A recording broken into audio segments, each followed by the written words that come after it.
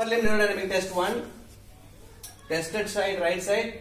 Therapist standing at the side, the tested. Subject shifts towards the edge of the plane. Okay. Fist is kept just at the shoulder on the plane. Hand is held pistol grip. Okay.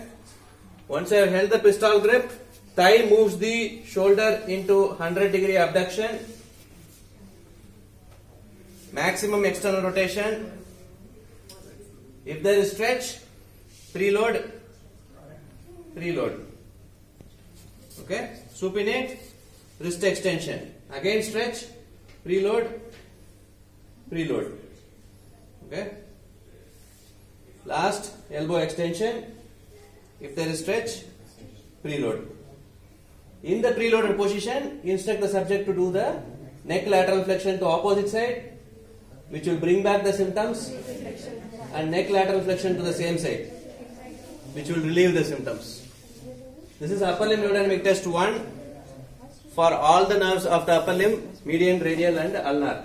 The gross testing of the upper limb. Stop.